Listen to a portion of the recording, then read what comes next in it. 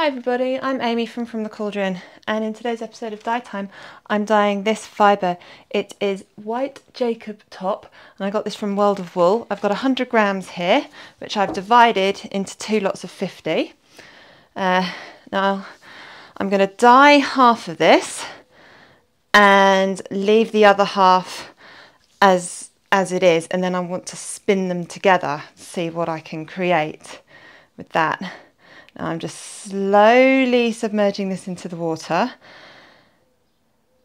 I don't want to felt that felt it.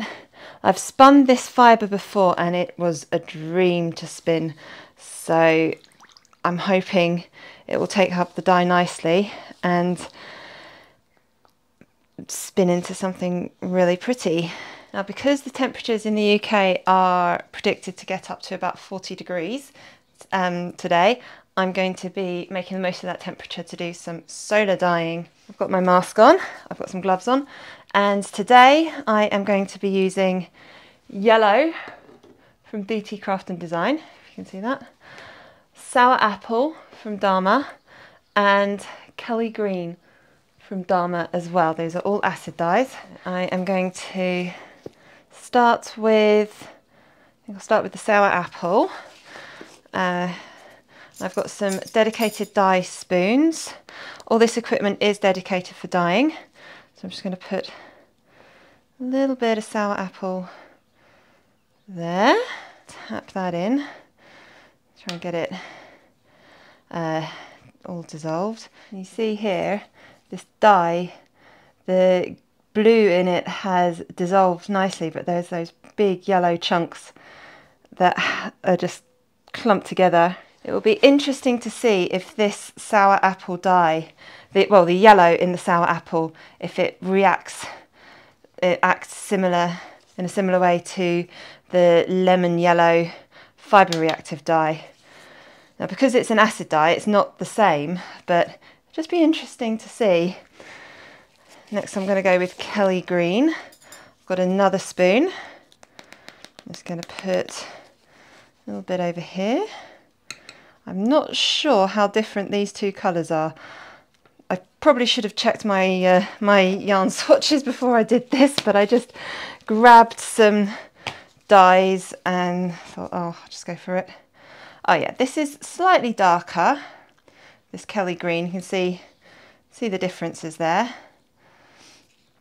Just again, tapping that through, just making sure everything is as dissolved as I can get it. And finally, I'm going to go for yellow from DT Craft and Design.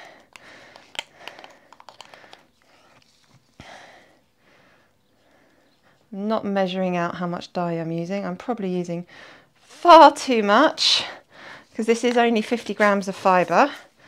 But, well, it is what it is. I don't have many yellows actually. I think this yellow and the the uh, fluorescent yellow are the only um, acid yellows that I've got. Ooh, okay, that's dissolved nicely. Add some vinegar because because this is a, a an animal fibre. You need vinegar, well, an acid, so either vinegar or citric acid acid, um, the dyes and heat. Now this, I normally use a tablespoon measure, but I can't find it. This is a half teaspoon measure, so that's why it looks like I'm putting a lot in, but I'm not actually because it's half teaspoon. And I haven't been counting how many I've put in either. Go for broke and just squirt a load in.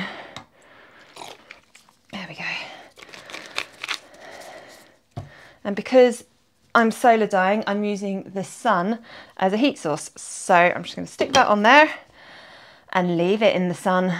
Hopefully the temperatures will get hot enough to settle this dye. Now, the one reason I put it in my saucepan rather than a jar is just in case the sun doesn't settle this dye, I can just stick this on the stove quite easily without moving the fibre too much. Just before I go stick this outside, Um, I have been doing some other dyeing and I've got this little bit of uh, dark brown left over. This is dark brown from DT Craft and Design. So I don't want to waste anything, so I'm just going to pour that there. And hopefully this will all blend together nicely. You can see over here already the sour apple is sort of disappearing and the Kelly green is taking over here. Still got some more yellow there. I really want to go and add more dye, but I won't. I'm going to just leave it. Let's have a look. Yeah, that Kelly green is going, moving quite a lot. Right, don't touch it, just leave it, let it do its thing. Okay, this has been sitting in the sun for about 24 hours now. You can see it's nice and steamy. Let's see if that dye has set to the yarn. Okay, there's a lot of that Kelly green. Most of that yellow's absorbed. It's that Kelly green and possibly the sour apple that hasn't. Have a look underneath. So what I'm going to do now, I'm going to move this over to the stove and gently let it heat set for probably about 20 minutes. Now this has been on a very gentle low heat for about 20 minutes. It's been steaming for about 20 minutes and yeah, there's still a lot of green there. I don't want this to start bubbling and there be a lot of movement in the water because that will felt the the yarn, the fibre. That's a disappointment. So what I'm going to do now is I'm just going to cover this up, turn the heat off and just leave it to cool down. I will use the green that is still in there in another project and hopefully hopefully there won't be too much bleeding when it comes to washing this. Okay, this fibre has cooled down now. I have the dye water. This was what was left over and I will be using it for another project, don't worry. I haven't forgotten about it. Now I'm going to be carefully washing this. I'm just remo I've just removed the fibre because I don't want the uh, the water to go straight onto the fibre. I just want to let it soak. I expect there will be a little bit of runoff because of all that water, that colour that was left over.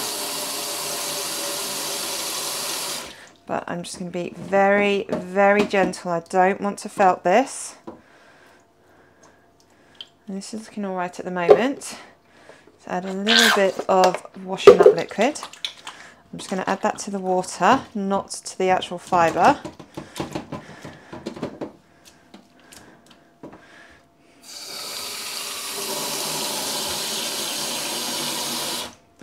Actually, this is not looking too bad. I'm just going to leave that to soak for a few minutes and then I'll be back.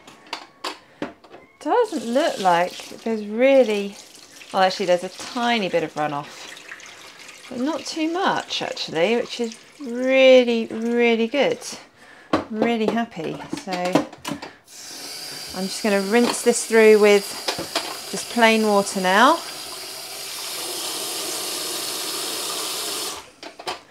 And again, I'm just going to let this sit and soak in the water. I'm not going to play with it. I'm just going to let it just sit I'll do this a few times and then I can let this dry and then we can spin it. And here is the finished fibre. Now that Kelly Green really did take over. Uh, there are some variations in this fibre. For example, here there's a bit that's slightly more brown and this is slightly more yellow.